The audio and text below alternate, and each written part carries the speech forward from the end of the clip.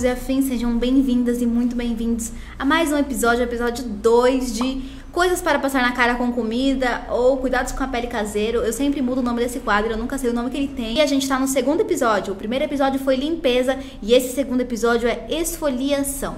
É muito importante esfoliar a sua pele com algum intervalo de tempo, obviamente tendo muito cuidado para não hiperesfoliar e acabar não sensibilizando demais a sua pele. A esfoliação no geral vai retirar as células mortas da sua pele, fazendo com que ela possa se regenerar mais fácil e fazendo também com que os produtos de beleza que você aplique depois possam penetrar nela com muito mais facilidade. Esse episódio é especialmente legal porque a gente tem um sério problema procurando esfoliantes no mercado, industrializados. A maioria deles são feitos com micropartículas de plástico.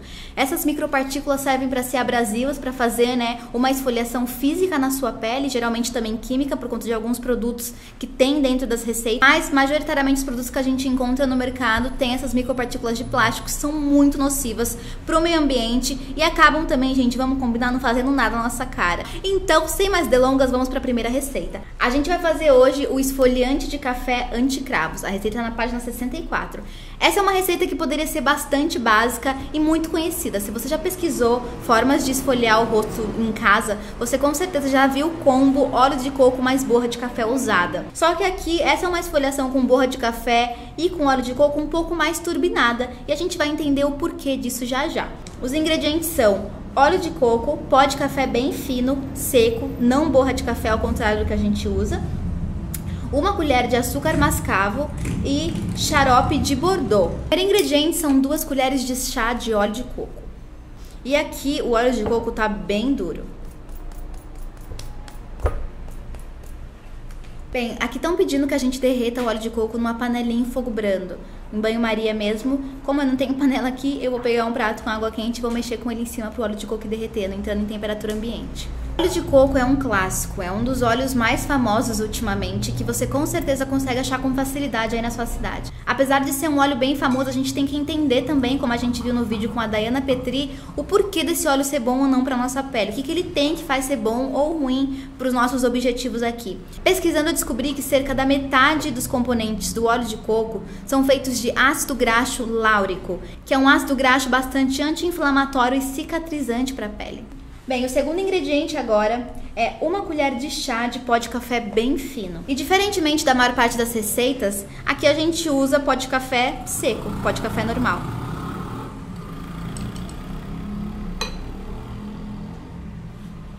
Que eu vou colocar aqui na mistura aquecida.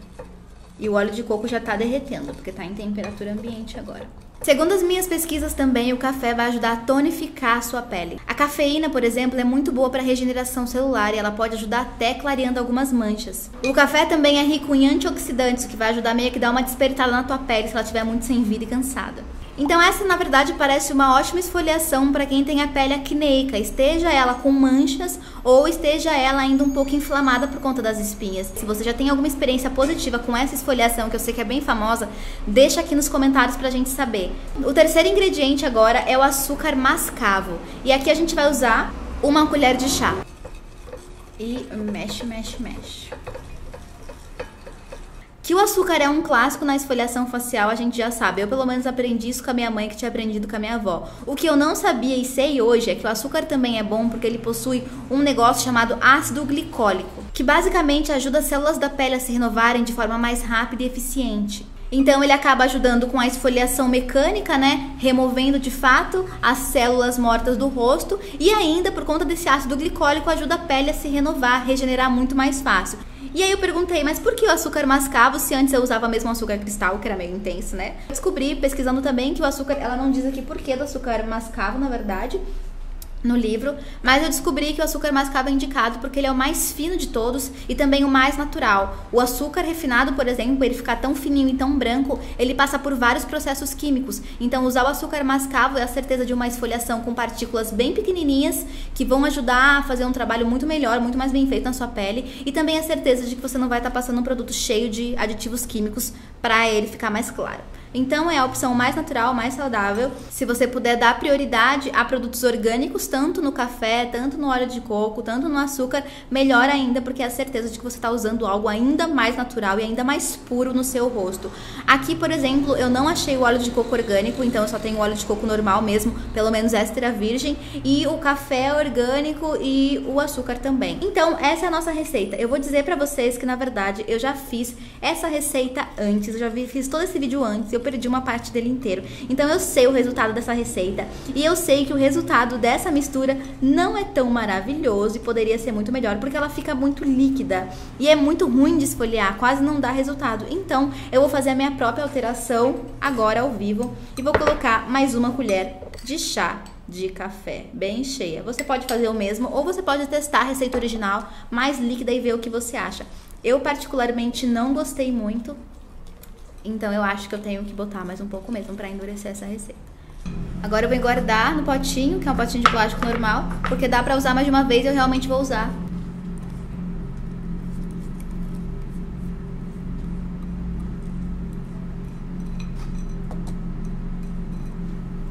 A próxima receita agora está na página 61 e é o esfoliante facial básico que na verdade não é tão básico assim e vocês vão ver por quê. Os ingredientes são aveia em flocos fino, bicarbonato de sódio, argila e água ou óleo de jojoba. Então, para começar, a gente vai precisar de duas colheres de chá de aveia em flocos finos.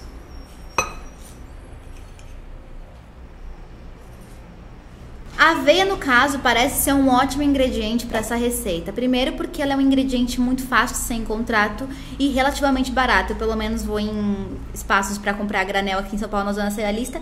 Comprei mais de meio quilo de aveia por tipo dois reais. Se você compra em caixinha, ela é um pouco mais cara mesmo. E aqui ela diz que a estrela da receita é realmente a aveia no livro, porque ao mesmo tempo em que ela é calmante e hidratante, ela é ótima para também depois da esfoliação ela tem propriedades anti-inflamatórias e emolientes. Então, ela vai conseguir ajudar a fazer essa esfoliação mais mecânica, só que de uma forma bem mais leve, ao mesmo tempo em que vai nutrir a tua pele e acalmar ela. Então, aqui está escrito que é indicado para todo tipo de pele, mas com certeza para peles que são mais sensíveis. O próximo ingrediente é uma colher de chá de bicarbonato de sódio, só que para tudo, porque eu pensei, bicarbonato de sódio. Para que botar bicarbonato de sódio nessa receita, gente? Um negócio tão estranho.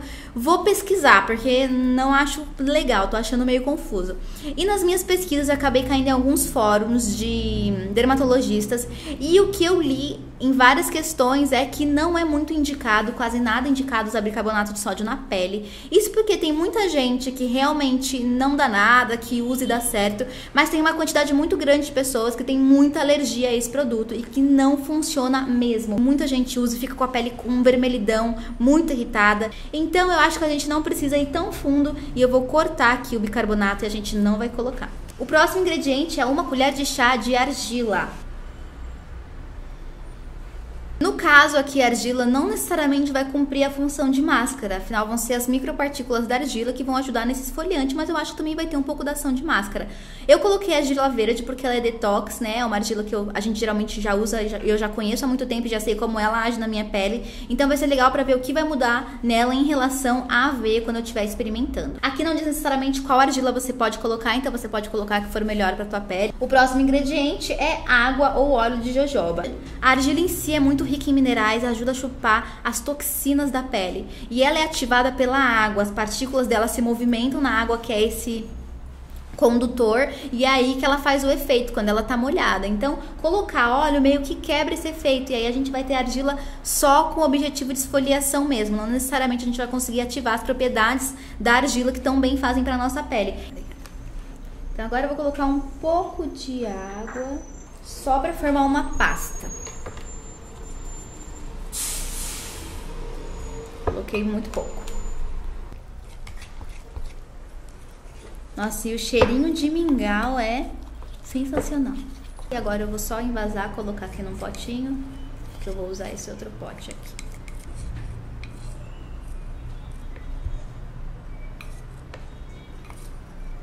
A próxima receita que a gente vai fazer é o último esfoliante, está na página 67 e também é uma esfoliação que tem como foco principal a aveia. É o esfoliante facial vitaminado de aveia. Tô muito surpresa em usar aveia, nunca tinha usado, mas pelo visto é uma boa opção. Os ingredientes dessa vez vão ser aveia, farinha de amêndoas, argila vermelha, óleo essencial de lavanda, óleo essencial de limão siciliano e água morna. Vamos ver o que, que vai dar.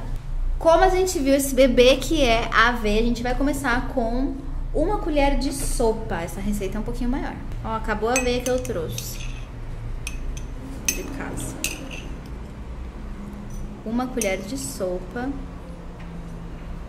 de aveia.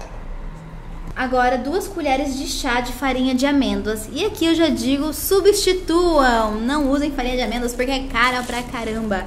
Eu comprei 100 gramas e deu tipo 7 reais. Mas essa aqui é uma ótima opção pra galera do leite vegetal. Eu sou um pouco preguiçosa, confesso, devia fazer mais. Mas sempre sobra um restinho que a gente faz farinha, faz cookie, faz mil coisas. Você pode usar também para passar no rosto, para fazer uma esfoliação.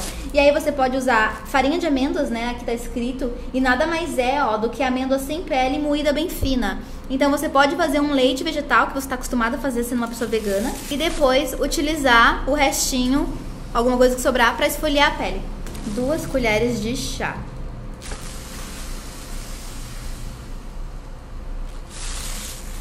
No livro eles não dizem exatamente o porquê ou os benefícios da farinha de amêndoa, e eu inclusive joguei na internet, só aparecia os benefícios de você ingerir, de comer, que eu não vou saber se são os mesmos, mas provavelmente. Mas no geral, a farinha de amêndoas, amêndoas tem muitas coisas boas e maravilhosas pro seu corpo, mas nada que você não possa, acho que, substituir por uma farinha de amendoim, uma farinha de várias coisas que você faz depois dos seus leites vegetais e que sobram.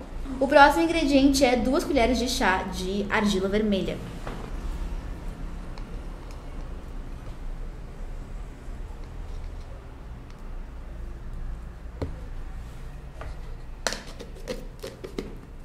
A argila vermelha é a estrela da receita, diz que ela reduz o ressecamento, melhora o tônus e a elasticidade da pele. É verdade, é uma argila muito indicada para peles secas e maduras que estão precisando de um estímulo ali na produção de colágeno e elastina. É uma argila que ativa muito a circulação da pele sem deixar ela esturricada de seca. E é uma argila que eu gosto muito de usar por conta disso. Quando eu sinto que minha pele está meio sem vida, eu coloco e eu sinto sangue fluindo e ela agindo e fazendo a coisa acontecer sem deixar minha pele esturricada depois, como faz a argila verde, por exemplo. Deixar minha pele muito seca. O próximo próximo ingrediente é 5 gotas de óleo essencial de lavanda e 5 gotas de óleo essencial de limão siciliano, só que para tudo, para tudo, para tudo, fecha o potinho de óleo e guarda agora, porque este livro está louco. Essa receita está louca. A mulher tá mandando você colocar 10 gotas de óleo essencial na sua cara. E este é um problema que eu vim falar sobre esses livros. As altas dosagens de óleos essenciais em todas as receitas que vão óleos essenciais.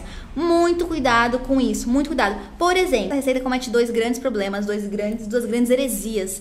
A primeira é o perigo. Para vocês terem ideia, gente, a gente só pode usar óleo essencial na pele na concentração de 0,5%. O que significa? Significa que você vai diluir o óleo essencial em algo, algo carreador, um gel, um creme, um óleo vegetal e passar ele na pele. Se uma gota de óleo é 100%, 100%, pingar uma gota de óleo essencial na minha pele é 100%. Eu preciso de 0,5% no máximo para passar na pele do rosto. Aqui eles estão mandando colocar 10 gotas de óleo essencial puras. Isso significa 1000% a mais da dosagem indicada, eu acho, né? Tipo, muito mais do que você poderia estar passando na sua pele e isso é um absurdo, porque aqui não tem nada para carrear esse óleo essencial, ele não vai estar tá diluído. O que ela manda colocar é água morna e óleo essencial e água não se misturam. Então é a mesma coisa de você estar tá aplicando algo direto na sua pele. Isso aqui pode ter problemas seríssimos, principalmente porque o óleo de limão siciliano é fotossensível e ele pode sim queimar muito a sua pele. Então ele vai, você vai passar, esse óleo vai absorver, entrar pelos teus poros, porque eles entram muito fácil na pele. E aí você vai lavar e vai achar que tirou tudo, só que não. Você pode se expor ao sol e depois tá cheio de manchas do óleo essencial puro na sua cara. E óleo essencial, gente, os fotossensíveis, eles mancham mesmo, porque eu já me manchei com bergamota e eu sei como é que. E o segundo grande absurdo dessa receita, além do perigo de usá-la no rosto, é que, meu, que gasto desnecessário de óleo essencial, gente. Se vocês assistiram os vídeos sobre introdução à aromaterapia, vocês sabem que óleos essenciais são muito concentrados. E eles exigem muita, muita matéria-prima para serem feitos. O uso de óleos essenciais tem que ser muito consciente, muito ponderado, porque a gente não pode ficar gastando tanto, tanta natureza assim, para passar em uma máscara e uma esfoliação que vai sair pelo ralo daqui a pouco. Eu, pelo menos, não acho que seja necessário. Uma coisa é usar óleo essencial em produtos que fiquem, que vão ter um tratamento na tua pele, como um gel, um creme, um sérum, mas numa esfoliação, eu não acho que seja legal e ainda mais numa quantidade bizarra como essa. Uma coisa também é você usar, sei lá, uma gota para ml de shampoo, porque você vai querer um tratamento, né? Mas, tipo, nas medidas certas. No couro cabelo também é 0,5%. Aqui a receita tá 1000% a mais para passar numa máscara com óleo que pode ter risco sim para você. Então, corta. A gente não precisa de óleo essencial aqui. E se você comprar esse livro, ele tem muitas receitas boas, mas eles têm hiperdosagens de óleo essencial. Então, quando você olhar e ver que tem muito número, tenta fazer a conta. Vê se a quantidade geral de líquido, de produto que vai render, dá 0,5%, que é o tanto que a gente pode passar no rosto de óleo essencial. Se der, ok. Se não der, repensa, põe menos ou até corta para garantir que você não vai sofrer com isso depois. Então, no fim, acho que a nossa receita vai ser isso. Já que a gente tirou os óleos essenciais, agora a gente só vai colocar a água morna. Acrescente água morna de gota em gota até formar uma pasta. Não dá de gota em gota, então eu vou botar aqui um teco. E vamos fazer uma pastinha que eu acho que vai ser mais densa do que a primeira porque a gente tem mais produto e temos a farinha de amêndoas. Mas ela acaba sendo bem parecida com a primeira receita, porque essa no caso não tem os óleos essenciais. A primeira receita talvez seria um exemplo de desse tipo de esfoliação e máscara, né? Esfoliação barra máscara para uma pele mais acneica, para uma pele com uma tendência mais oleosa e essa aqui para uma pele mais ressecada,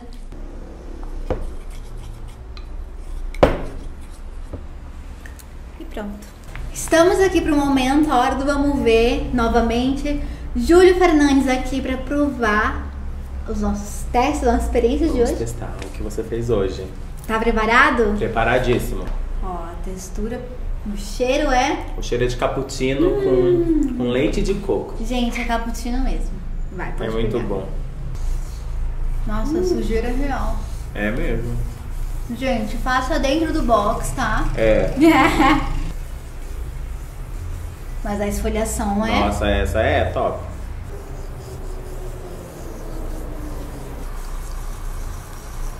Tá virando uma bagunça esses vídeos que a gente tá fazendo, testando as coisas meio a meio sempre. Mas é pra vocês verem, não dá pra gente esfoliar É. nossa pele três vezes pra testar. Ah, virou uma pasta. Oh, que geladinha. Talvez ela morninha, pronta, é melhor, né? Que aí ela abre os poros também. Gente, é muito gelado. Gente, é bom esfoliar pescoço também, tá? Como aqui a gente não tá no banheiro de casa.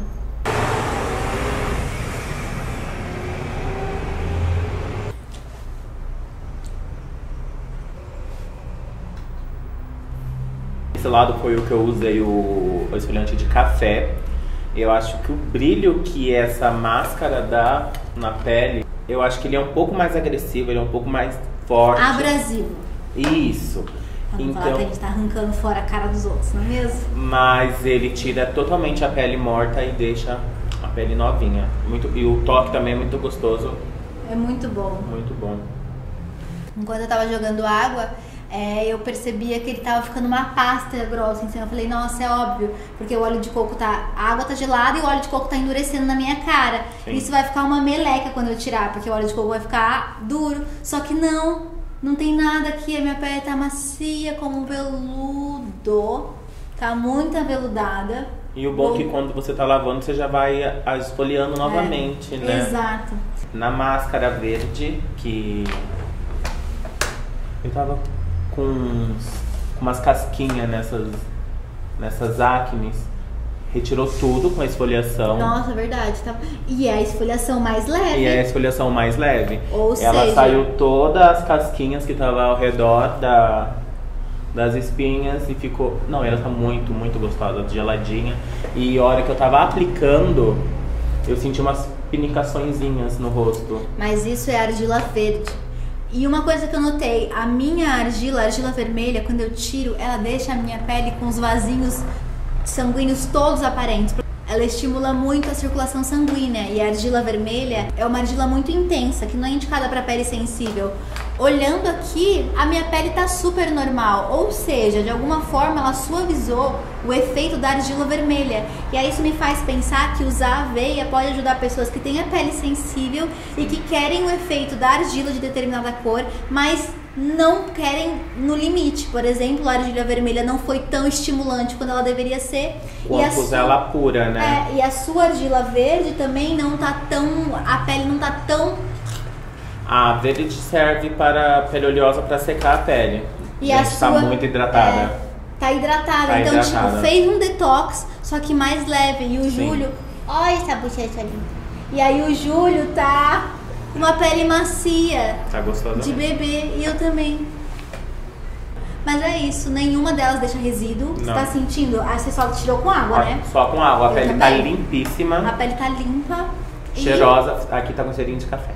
Ai, cheirinho de cappuccino, é verdade. Sim. Então, aprovado? Eu amei as duas, eu, Eu usaria super. Eu acho que eu usaria essa, ó, por, por um exemplo. É, no começo da semana para limpar o rosto e já mais pro meio da semana a outra para hidratar. Pra dar uma. É, porque assim você consegue usar duas Sim, na consegue semana. usar as duas na porque semana. a de aveia não é tão abrasiva quanto a de café. Sim. Então, gente, a gente mostrou essas receitas. Tem mais receitas de esfoliação nesse livro que eu mostrei pra vocês, o Guia Completo da Beleza Feita em Casa.